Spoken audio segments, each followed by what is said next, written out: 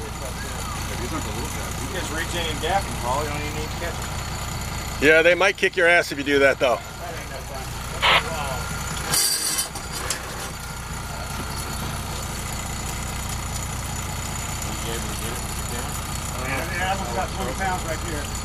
Yep.